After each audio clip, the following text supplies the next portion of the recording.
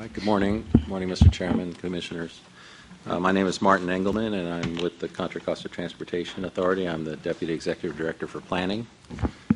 And uh, delighted to be here this morning and uh, tell you a little bit about our organization, the Contra Costa Transportation Authority, and also uh, some projects we're working on that uh, are on the fringes of your uh, purview. The Transportation Authority uh, is a half cent sales tax agency, and we deal uh, with Contra Costa, the county of Contra Costa. We are not the county, we're a separate agency. Contra Costa has over a million residents, um, 19 incorporated cities and towns, 3,200 miles of roadway, and five transit providers. The uh, agency was established in 1988. We have 20 employees, um, and um, we have a number of standing committees, advisory committees, technical committees, probably a similar structure to what you have here. And uh, a few years back, our new executive director was appointed, and he was the uh, uh, former Caltrans director, Randy Iwasaki. He is our executive director, uh, four years running now. The, uh, the authority works by identifying uh, five planning areas in our county. Uh, we divide them into West County, Central County, East County, um, Lamorinda, and uh, the uh, uh, Danville, San Ramon area of SWAT. And basically, everything we do uh, in the county is based upon it's from the ground ground up. Our cities work with us to develop our plans, and they are developed then at the sub-regional level, and then we bring them together. All of these sub-regions come together, and we create uh, one countywide transportation plan, which looks out to 30 years into the future, and uh, identifies all of the projects and programs, not only the projects and programs that we can fund through our half cent sales tax, but also those uh, that are going to come through other funding sources. Uh, Transportation Authority administers a half cent sales tax. Uh, we began in 1989 with a 20, 20 year half cent sales tax that uh, garnered a, mil- a billion dollars. Measure J was passed by the voters of Contra Costa in 2009. That's a 25 year tax. Um, uh, it was passed by the voters in 2004 and it began in 2009 and that brings in uh, $2 billion. So in aggregate, uh, the authority is overseeing 3 billion in revenues for transportation. And we also actively manage state highway uh, and uh, transit programs. We also have the role of congestion management agency. Congestion management agencies, if you're familiar with that, that's a state mandated requirement that we uh, designated a, a, network of uh, freeways and state highways and monitor levels of service on that and work with Caltrans, MTC, and the other congestion management agencies around the Bay region to identify priorities uh, for state and federal funding and for the uh, Metropolitan Transportation Commission's regional transportation plan. The uh, Measure J sales tax uh, is split pretty much uh, 40% to capital improvement projects and 60% to various programs. Our biggest project most recently is completion of the fourth bore on the Caldecott Tunnel. I don't know how many of you have traversed Highway 24, but we now have four bores and they've stopped switching the lanes. That was a $430 million project that we completed. Um, and uh, we've, uh, we're working on the widening of Highway 4 East uh, from Pittsburg east to Antioch and all the way up to 160. Uh, that's going from two lanes each way to four lanes each way with an HOV lane and transit in the median. We're putting BART in the median. And uh, then we've done a number of uh, projects on I 80 and I 680. We also have 60% of our uh, uh, funds dedicated to programs, local street maintenance and improvement programs, uh, funding for bus, BART, commute alternatives, transportation for livable communities, and bike trails, as well as uh, congestion management and transportation planning. We are one of 19 self help counties uh, in California. Um, Measure C and Measure J have delivered a number of projects, um, and I'll, I'll uh, skip past these. I want to tell you also that we work in the ferry business a little bit. We're concentrating on uh, developing ferry service for West County and funding that. We've just recently completed a study of ferry service that would serve uh, not only the city of Richmond, but also the city of Hercules and further east to Martinez. And we're even looking at a possibility of ferry, ferry service all the way up to, to Antioch. Uh, we, uh, we like to, to innovate, and uh, our executive director, Randy Iwasaki, is very interested in innovation. So uh, we're um, working on a number of projects in mobile technologies, connected vehicles, um, and we're uh, offering up our county as a test bed for autonomous vehicles. Um, it won't be too long before uh, the cars will be able to at least uh, maneuver and drive by themselves without us driving them for at least part of the time of our trip. And we're also working on a real time ride sharing pilot program. You've probably heard a lot about the controversy of Uber and Lyft and Sidecar and so forth. Uh, we're working on a real time ride sharing pilot program uh, that is truly carpooling, where just anyone who's driving somewhere picks up a passenger, and the uh, reimbursement uh, from passenger to driver is limited to the cost of operating the vehicle. So we're avoiding some of the issues that uh, Uber and Lyft have run into, as you've probably recently heard about at the PUC. Uh, so, so one of the one of the big uh, projects we're working on now, which I, I really want to spend a little bit of time talking about, it's uh, the TriLink study, State Route 239.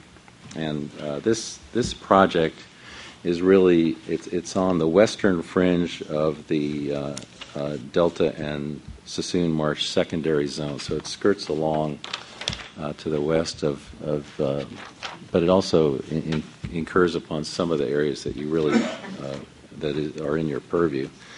Um, and this study was funded by um, a grant many years ago, a $15 million grant uh, that came through uh, federal funding um, and uh, was initiated by Congressman Pombo. So we've we've spent five million of that 15 doing a feasibility study, and that feasibility study was just released. Um, it's available at the uh, trilink239.org website, and uh, you can read about all the details. Uh, but the study itself looks at creating a new connection between Tracy and Brentwood. And uh, uh, on this slide here, you can see uh, the, the, various components that we're looking at. There's a north link, uh, an airport connector link that would connect uh, past the Byron Airport, connecting uh, J4 and Vasco Road. There's a 580 link, which is a freeway link and when you're traveling north on Highway 5 coming back from uh, Southern California, and you want to get into the Bay Area, usually you take 580 west and start heading 580 west into uh, the Bay Area and over the Altamont Pass. Well, this 580 link would be a shot straight north, and it would connect up to um, the Route 4 bypass and connect to Brentwood and uh, onward to into Contra Costa County. The South Link is along existing Byron Highway. So um, it's been an interesting challenge trying to weave this project uh, through um, all of the uh, environmental concerns and limitations and constraints that we have uh, along this corridor, and I'll just go through them very quickly here. We have uh, the, the corridor cons- considerations are planned development, prime farmland, land acquired for conservation, alkali soils, which uh, house some very uh, rare plant species, vernal pools. There's uh, existing infrastructure such as the wind farms and utilities, wind resource areas, the uh, delta protection zone and waterways, and last but not least, the Byron hot springs. Uh, so we've been working uh, with uh, a number of organizations trying to figure out the alignment for this project, and we've come up with uh, a few alignments here. And the feasibility study settles on the alignments that are shown here: an, an airport connector, uh, the North Link, uh, which would connect from the airport to the north, the South Link along J4 which is an improvement of Byron Highway, improving it from two lanes to four lanes, and the I 580 link Uh, That's the freeway portion, and we're looking at possible tolling on that road. There's also a transit component to this. We have uh, E-BART coming all the way out to Antioch, and we hope eventually to extend it beyond 160 to the south into Brentwood. And if we did that, we could actually have a transit link that connected from E-BART down to Tracy, and that would help us to um, essentially circle the bay, since that would connect up to the ACE train in Tracy. The cost of this project uh, in total is uh, $750 million without the transit. Um, But we think uh, that there are a lot of benefits if we get this project constructed. For one, it would support local job growth. There there are an awful lot of jobs out there in San Joaquin County that are kind of on the books in the general plans, but really can't be realized because of the limitations of transportation and limitations of uh, goods movement. So this project would enhance goods movement and would uh, dramatically uh, increase the uh, speeds and save time actually for trips that are going from the Tracy area into the northern parts of Contra Costa. So instead of having to go everybody over the 580 Altamont Pass and 680 North, uh, vehicles could now go straight north up into the eastern parts of Contra Costa and further north. Um, there are a lot of uh, safety problems out there now. If you've been, I'm sure you've driven the two-lane roads and the uh, railroad over uh, the at-grade railroad crossings, and uh, this would eliminate uh, much of that by creating uh, separation of opposing traffic and at and uh, grade separations at the railroad crossings. The project would improve emergency access, um, getting in and out of uh, Mountain House Knightsen is an issue, especially in these flood-prone prone areas. Um, and the TriLink uh, could serve as an emergency evacuation route. And there's also savings of uh, VMT and greenhouse gas emissions. Uh, we estimate annual fuel savings of over 40 million gallons uh, if this project were to be constructed. Uh, so that's a quick uh, a quick look at uh, our organization and the uh, 239 study. Um, and just also let you know we're going to be releasing our 2014 countywide transportation plan update in July, and I invite you all to participate in that. And I'd be happy to answer any questions you might have. Great presentation. Questions? Judge? Uh, That goes, this connection six eighty, is that right? This, this last uh, thing you talked about, the, the- the highway from five eighty, The microphone. five eighty to, uh, north. That goes, that connects from six eighty? Uh, It would connect um, from 580, it would go north, north of the 205, 580 junction, straight north, and it would connect to Highway 4 East. And then Highway 4 East, which is now being improved to, to eight lanes, uh, eventually connects to 680. Right. So yes, you Highway could use 4 it to get to Martinez. So you, you connect, with with four would be, the- would be the connector Yeah. between this highway and then the six eighty. Right. And what, what is the status of it? I mean, what is the real, realistic, uh, Well, it's really in the planning stages. Uh, We've, we've just completed a feasibility study. We're going to do a PSR, uh, Caltrans style, uh, during 2014. In 2015, we're going to uh, start this, the uh, CEQA NEPA process. Um, And uh, probably uh, construction is at least 10 years out on this project. is this a, a state, this state and county variety of, of uh, funding sources? Is is it Uh, state? The the sources uh, for the study are federal. This was a a Pombo grant uh, from back, uh, from the days of ISTEA. Um, And um, there is no funding, the, the, the I'll call it a billion-dollar project. There is no funding now for the billion-dollar project. Um, SR 239 is a legislatively designated route, but it hasn't been adopted by CTC yet. Larry? I- But all three counties are self-help counties, so you could stick your fist into each one of their wallets to do that. That is correct, and we're also looking at uh, innovative funding mes- methods and possibility of uh, creating a JPA and possibility of tolling. Phil? In the 1980s, the voters of Contra Costa adopted an urban limit line. Is this plan consistent with that? Uh, We, uh, we do have an urban limit line, and it is in force. Um, And this plan respects the urban limit line in that there would be no access or egress from the facility within the uh, urban limit line. So it essentially, cross it's the a, line. it's a roadway without connections, starting in Brentwood and ending over at 205. How, that's That's- how long, how many miles? That's correct. That's about 15 miles. There would be an interchange uh, once you crossed the 205, 580 inter- interchange there and continued north on 239. Uh, The first interchange would be at the Byron Airport at Armstrong Road, which is one- about, I think, I- I seven just- or eight miles north. I just assumed that uh, uh, the, the notion of the uh, 17 mile or whatever in the Dickens it is roadway uh, with no uh, connection ramps uh, has not let, yet been legally tested as to its consistency. I assume you would have to acknowledge it's growth inducing at least at the two ends. That's the purpose, right?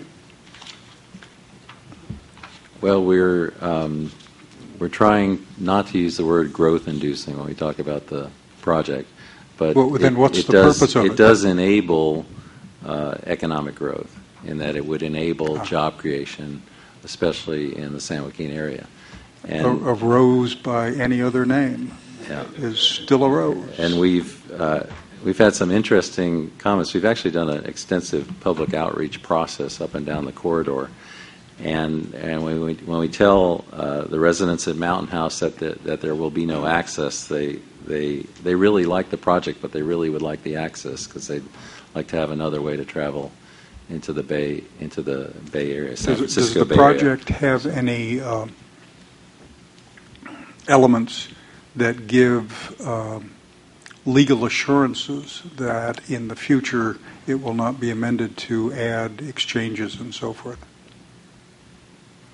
Uh, Well, I think that would be written into the, um, the plan for the roadway, that the, that the right-of-way would be limited and that there would be no access Irrevocably, for... com- irrevocably committed? Uh, That's a good question, whether it would be a irrevocable decision or not. Thank you. It's fascinating to me, all the different aspects of trying to plan something like this. Um, The number of pages of the things that you have to consider when you're developing essentially a, a, a, a new access point to a large metropolitan area. Uh, For Garth and Martin, um, it's been my observation that Highway 4 is not in very good shape, that uh, subsidence and undulation uh, probably, in some respects, cr- have created an unsafe situation out there. Martin, your project seems to um, provide an opportunity to um, effectively replace Highway 4 in, in, in, in terms of people going from Stockton I-5 to the, the East Bay. Um, Is there any coordinated effort between Caltrans and Contra Costa County with an eye towards um, uh, viewing this as a replacement or um, a substitution for the need to spend lots of money on Highway 4 to upgrade that in the future? Well, we, we have uh, a a number of committees overseeing this study, and in- one of them is a technical advisory committee, and we have representatives from District 4 and District 10 on that committee, and uh, we're in discussions with District 10 now um, on the feasibility study. And uh, when we went out to the public and told them about this project, um, and when we went to the San Joaquin uh, COG, um, that was a question that came up very often. Why, why are you doing this and not Highway 4? Why don't you improve Route 4? And when we look at Route 4, it's, it's, it's a much stickier issue. It's, it's much more difficult to upgrade Highway 4 than it is to create this 239 corridor, we believe. Um, And also, the, the funding for the study was focused on this corridor, on this 239 corridor, and not on Highway 4 and not on Vasco Road. We also hear a lot of cries, why don't you improve Vasco Road? Uh, But the corridor is clearly defined in the legislative mandate. Garth, anything to add to that? No, I mean, he's, he's closer to the issue definitely than, than I am personally, but it's, it's a, planning, as you're full aware, is a very long, drawn-out process, and, and so, I, I, I mean, a lot of these issues, it it takes time to, to, to, to flesh things out, and, and what is the best alternative, so I'm sure all of those issues will be taken into consideration during the planning process. I'm just curious from the state's perspective, does this um, reduce the need to consider a major upgrade of Highway 4 in the next 30 years? Well, you know, potentially, yeah, you'll just have to see from a, you know, kind of a regional perspective, what is the best uh, way to spend limited amounts of dollars that we have for transportation improvements. And so um, if, if this new route was to help, you know, reduce congestion or relieve, you know, uh, on Route 4, maybe the improvements might not be necessary. I don't know. But that's something, um, like I say, will be discussed, most definitely, during the planning process. Okay. Martin, thanks for the report, and uh, looks like we're on to Sam. Actually, I was hoping we could jump to Michael first, um, to do the county level and then switch to, um, Since he's, he's familiar with The Highway rock. 4. that's all right. Yeah, yeah, on the other end. Best for Great. Michael, welcome. Sorry, Dan.